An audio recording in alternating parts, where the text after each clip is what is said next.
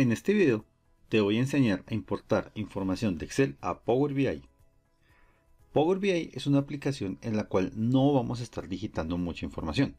Realmente lo que vamos a hacer es ir a capturar información que ya existe en otras ubicaciones. Para este ejemplo usaremos una base de datos que ya tenemos previamente en Excel.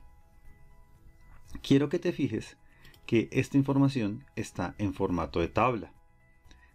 Está contenida en la hoja 1, la cual tiene este texto y está a propósito porque quiero que te des cuenta que no voy a cargar esta hoja porque en el evento que tenga otra información como este texto o otra tablita no hace parte de la información que quiero analizar. Entonces no quiero cargar esta información pues se convertiría en una información basura. Realmente lo que nos interesa cargar es únicamente la tabla. Así que esta tabla, puedes apreciar, se llama ventas. Estando en Power BI, puedes cargar la información haciendo clic en este botón o en el menú en la opción de Excel. Entonces, vamos a hacer clic en el botón. Vamos a buscar nuestro archivo de Excel. Vamos a decirle abrir. Podemos ver que en el navegador él detectó que tenemos dos cosas en este archivo. Una es la hoja como te decía, no nos interesa cargarla porque también traería esta información y puedes ver cómo traería de basura. Y tenemos la tabla ventas, que es la que queremos cargar finalmente, donde solo está la información que queremos analizar. Como tal, marcaremos la casilla correspondiente a la tabla. Quiero que te fijes bien en el simbolito. Tiene como una tablita y una rayita azul. Quiere decir que es una tabla y es lo que realmente nos interesa cargar.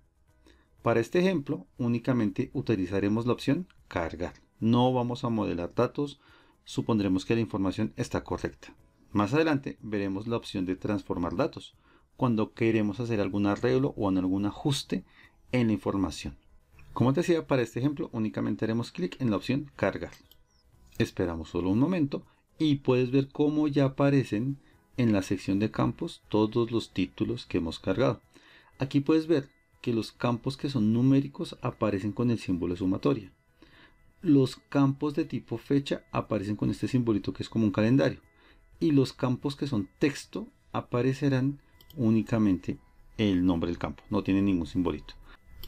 Y acá en la vista datos puedes ver que hemos cargado correctamente toda la información. De esta forma ya sabes cómo cargar adecuadamente un archivo de Excel.